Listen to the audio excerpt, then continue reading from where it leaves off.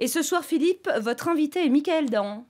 Bonsoir, Michael Dahan. Bonsoir. Alors en ce moment même, c'est l'inauguration du Salon du Livre euh, à Paris, porte de Versailles. C'est ouvert au public à partir de demain et jusqu'à lundi. Alors, Bookin, que vous avez fondé, c'est un des acteurs du livre 2.0, celui de la littérature digitale, celle qu'on télécharge pour la lire sur une tablette de lecture, une liseuse. Alors, quelle place occupe désormais le livre numérique par rapport au livre papier? Alors, le livre numérique est encore un marché naissant en France, mais c'est un marché qui est en très forte croissance. Donc, ça représente à peu près 3% euh, du chiffre d'affaires global euh, se fait en numérique aujourd'hui et c'est euh, en hausse de près de 40% par rapport à l'année dernière. Donc c'est le support qui, est, qui croît le plus vite aujourd'hui en France. Oui, on peut dire que c'est un marché très profond. Alors, mais quel type de lecteur préfère le numérique plutôt que le papier? Alors, en fait, le gros lecteur, tout simplement, la personne qui lit beaucoup. C'est pas vraiment compétiteur du papier, c'est plutôt complètement complémentaire. Quand vous partez en vacances, avant, au lieu de partir avec avec livres, J'aime ce discours, j'aime ce discours. Avec 10 papiers, mais c'est la réalité. En fait, les, les, plus gros pics de vente aujourd'hui en numérique se font euh, au mois de juin. Donc, avant de partir en vacances, les gens achètent et du livre papier et du numérique.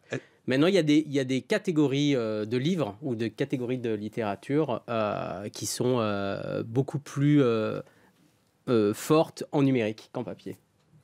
Justement, quel type de, quel type de livres bah, sont en, fait, en, majorité? euh, En majorité, c'est plutôt la littérature de genre, c'est-à-dire on va retrouver beaucoup de romances, euh, de SF, de fantasy, de policiers. On est vraiment sur euh, les best-sellers restent les best-sellers. On retrouve les best-sellers papier, on les retrouve en numérique. C'est-à-dire qu'un Marc Lévy aujourd'hui qui vient de sortir, voilà. Oui, un Marc Lévy qui vient de sortir est disponible en numérique un peu moins cher, euh, moins, 25 à moins 30% moins cher que sa version papier. C'est moins 30% Moins 30% sur le, lancement, sur le lancement. Version, euh, mm. la, première version est moins 25 à moins 30% systématiquement moins cher. D'accord. Mais je crois qu'il y avait un prix unique.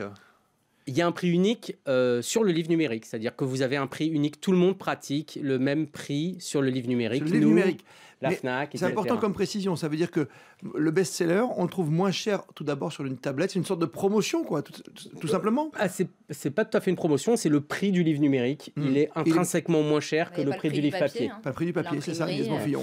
Euh, simplement, moi, je voulais revenir sur la question un peu générationnelle. Euh, moi, j'adore lire. Mais c'est vrai que j'ai un peu de mal à me détacher du papier. J'adore avoir le papier entre les mains.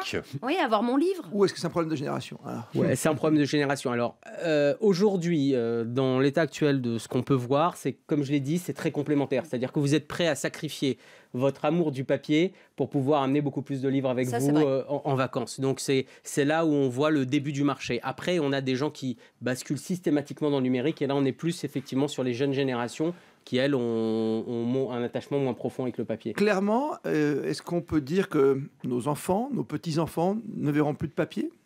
Ne verront plus de papier À part chez nous C'est-à-dire n'iront plus jamais acheter un livre? Je, ne pense pas. Aujourd'hui, euh, ce qu'on observe donc sur des marchés qui sont un peu en avance sur nous, comme le marché nord-américain, euh, on est à 25% à peu près de, de, taux de pénétration du numérique. Donc c'est le premier ou le deuxième support après le livre de poche ou à ex avec le livre de poche en termes de, de, de, de, nombre de ventes. Mais ça ne disparaîtra pas comme euh, par exemple les bons vieux, euh, euh, les vieilles cassettes ou voilà ou le CD bah, peut-être bientôt. L'impression que ça donne, c'est que ça aujourd'hui on a l'impression que ça sature, c'est-à-dire que le marché on a l'impression qu'il sature à 25%. Donc moi je suis un petit peu un homme de chiffres et c'est ce que je peux vous dire. Et, puis on peut on peut noter aussi qu'il y a des éditions rares, des éditions luxe. mais est-ce que ça va être comme le vinyle? Vous voyez, ça.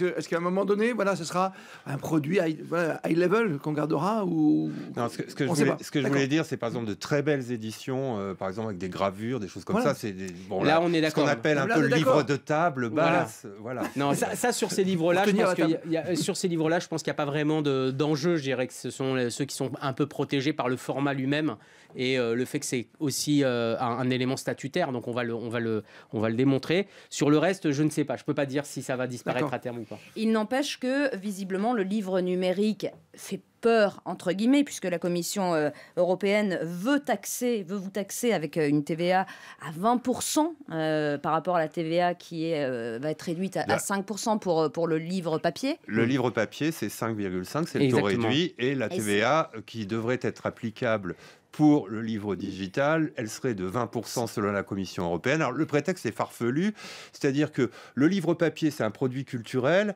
mais le livre digital, c'est un service. Exactement. C'est un peu là où c'est un peu, c'est un peu délicat. Euh, c'est là où nous on attaque plutôt le. Et tout le monde est d'accord dans le monde de l'édition. Tout le monde est hein. d'accord. Euh, tout le monde dit là, là c'est un petit peu trop, euh, c'est un peu over the top. Donc, hum. on, a vu, on a vu des, des pays. Il y a des pays qui considèrent le livre numérique comme un bien. C'est-à-dire qu'il y a une grosse discussion sur. Euh, on essaye de ranger les, différents, euh, euh, différents éléments dans des cases. Et là, on a décidé de ranger le livre numérique dans la case service. Mais il y a des pays dans le monde qui ont choisi de, de ranger bien ce livre numérique dans une case bien, bien numérique. Et quand on est un bien numérique, normalement, on est à 5,5 et pas à 20%. Donc, donc nous, on est un petit peu, voilà, on, on, est un peu arc-bouteau contre cette décision. Maintenant, il y a peut-être quelque chose là-dessous de plus profond. Allons-y. C'est c'est peut-être une bataille autour du prix du livre unique. Euh, pardon, du, prix unique du livre.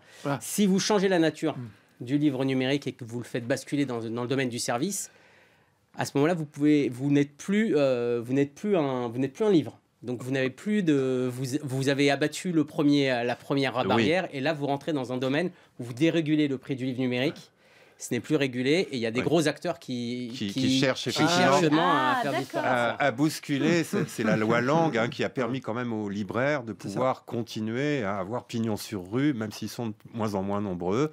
Et ça, ça fait partie de ce qu'on appelle l'exception culturelle française. Voilà. Et euh, il n'y a pas que la France qui pratique ça. Il y a deux gros pays euh, qui sont très importants pour le domaine de la, du marché du livre en Europe, qui sont l'Allemagne et la France, euh, qui, ont, qui ont cette même règle. Michael Dahan, je vous remercie. Hein. Je rappelle que vous êtes le fondateur de Booking. C'est une entreprise de l'économie 2.0 depuis 2003 une interview que l'on peut regarder aussi en son et en image euh, sur, la page RTL Grand Soir, bien sûr, sur une tablette, à partir de notre site rtl.fr. Je vous remercie, au revoir.